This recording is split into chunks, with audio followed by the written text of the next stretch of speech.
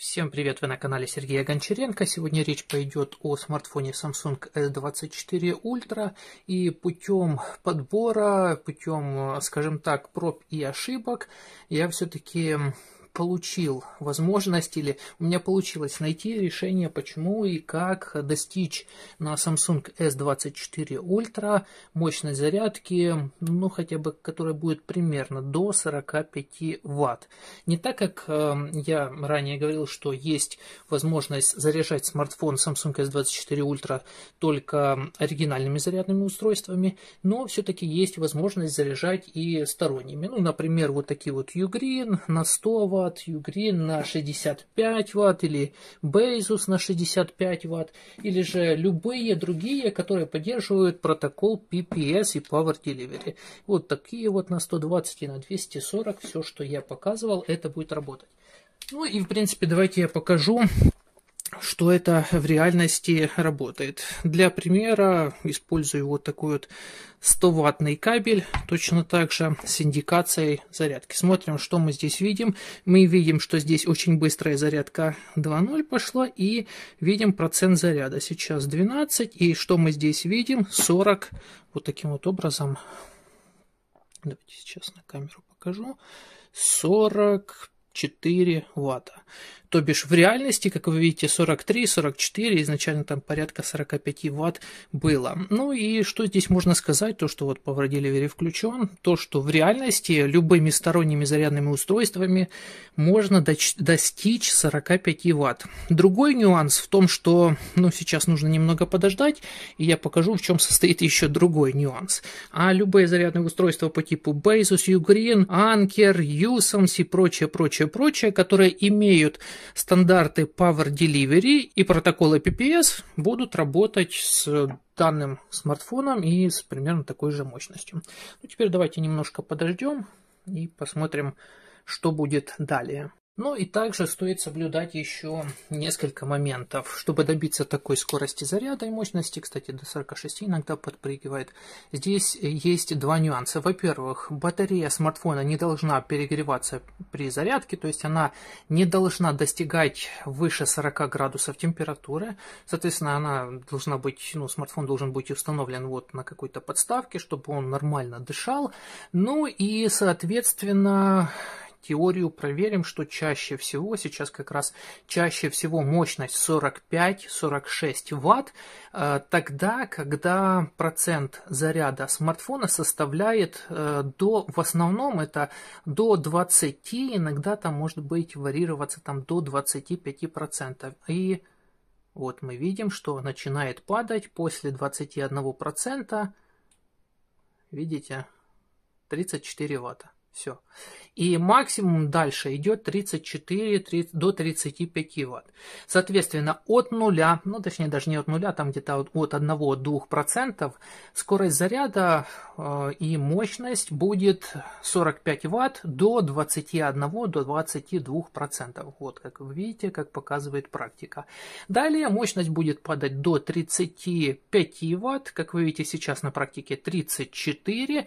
Э, ну и с таким успехом дальше Дальше немножко будет еще проседать мощность, но в основном где-то процентов до 70, до 80 будет держаться примерно, где-то до 70 будет держаться примерно такая вот э, мощность зарядки, порядка 35 ватт, до 35 ватт. Может быть, местами будет снижаться мощность до 30-29 ватт, ну, в принципе, дальше вот так вот и будет все работать. Ну вот тем временем уже получается 42% заряд, и мы видим, что здесь получается 30-31 ватт. Соответственно, опять-таки, видите, падение емкости происходит. И что здесь уже можно сказать? Ну, давайте я вам покажу, чтобы хотя бы видно было. Или вот так вот, что это 31 ватт все-таки, а не 37. И здесь можно сказать, что, знаете, фактически, получается, смартфон поддерживает 45 ватт. А, но это фактически. А, а вот на практике на практике, вы видите, что 45 Вт работает только очень короткий промежуток времени. И на этом все. Соответственно, что получается, что 45 Вт добиться можно, но пользоваться этим Практически нет. Как часто вы разряжаете смартфон там ниже 15%, ниже 20%. И если вы делаете это постоянно, скажу вам сразу же, что это не есть хорошо для батареи смартфона, когда разряд становится уже ниже 20 и ниже 15%. Э, как раз э, самые оптимальные варианты вот держать э, заряд в смартфоне в пределах 20-80%. В таких пределах, когда будет батарея постоянно находиться, то больше шансов на более длительную и счастливую, успешную жизнь батареи вашего смартфона. Будет лучшая автономность и больше по сроку проработает. Это первое. Ну, а второе, Получается, что большую часть времени ваш смартфон будет заряжаться с мощностью вот порядка 30 ватт. Плюс-минус 5 ватт, например. Может быть, как вы видели, 35, а может быть и, как сейчас, 31. А немного позже может быть уже 29, 27 или 28. Так что вот, по сути, знаете, в теории есть по фактам есть, на практике, ну, практически нет. И знаете, почему такого нет? Да просто, ну, чё, почему я не сразу это понял, спустя вот длительный период времени я это понял, потому что я смартфоны не, не разряжаю до там 10%, э, до 5%, до там, ну, чаще всего, вот сейчас 30 вы видите, падает постепенно, чаще всего до 48 мы доходим, до 50%, да, и будет падать мощности еще. Э, в частности, я именно стараюсь, ну вот, заряжать как раз примерно, примерно, я не говорю, что точно, я говорю, что примерно плюс-минус в пределах 20-80%, от 20 до 80.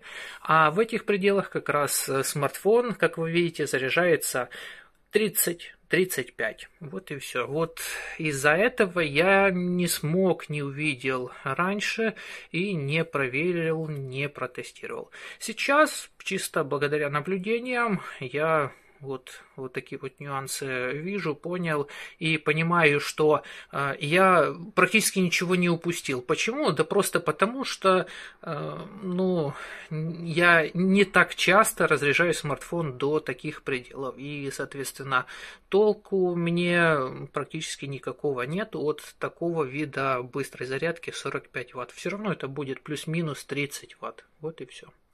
Вот, вот как-то так. Теория одно, факты другое, на практике все равно получаем совсем другое. В итоге, какие выводы можно сделать? Сделать можно выводы, что самое главное соблюдать несколько параметров при покупке зарядного устройства проверять, чтобы были стандарты и протоколы э, Power Delivery.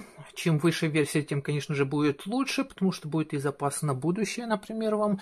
Ну и чтобы PPS э, протокол точно так же работал. И в этих случаях у вас будет работать быстрая зарядка на вот этом вот смартфоне и вполне вероятно на всех последующих. А стандарты Power Delivery и PPS протоколы будут э, сейчас есть на практически всех возможных зарядных устройствах. Э, как я и показывал, на таких вот Bezos, на Ugreen и на множестве разных по типу там Esseger, Tuki, Asomtech и множество других зарядных устройств уже имеют такие протоколы эм, для зарядки. Соответственно, что? Это радует то, что можно покупать уже такие зарядные устройства. И они относительно недорогие. Можно что-то уже найти от 10 долларов. Это приятно. Но и немаловажно также, чтобы кабель поддерживал пропускную способность, то есть мощность э, была повыше. Соответственно, чтобы вы сейчас можете видеть, это кабель 100 Вт, ну и точно так же, чтобы поддерживался Power Delivery с определенной мощностью и точно так же смог пропускать определенное напряжение и силу тока. В данном случае можно ориентироваться, что чаще всего, если будет это 100-ваттный кабель, он будет иметь такие возможности. Так что при покупке зарядного устройства на Samsung S24 Ultra это стоит учитывать. Ну а в течение зарядки мощность э, может падать, потому что если перейти посмотреть на, ну сейчас мы видим, что 33 э, градуса температура, сейчас небольшая, но если будет подниматься температура до 40, тогда мощность зарядки может падать. Опять-таки все зависит от того, а будете ли вы пользоваться смартфоном, а я категорически не рекомендую пользоваться смартфоном во время зарядки, в особенности быстрой зарядки. Ну и все, конечно же, будет еще зависеть от того, э, какая температура помещения, какая нагрузка есть или нет еще дополнительная на смартфон. Вот как-то так. По данному видеоролику у меня в принципе все. Если у вас есть чем дополнить, дополняйте, пишите, рассказывайте, показывайте. А вот это вот все, что хотелось бы показать и сказать о зарядном устройстве Samsung на Samsung S24 Ultra. Кстати, все это еще касается Samsung S23 Ultra и S22 Ultra. То есть все это применимо к тем же самым смартфонам, э, начиная с 22 Ultra, заканчивая 24 Ultra.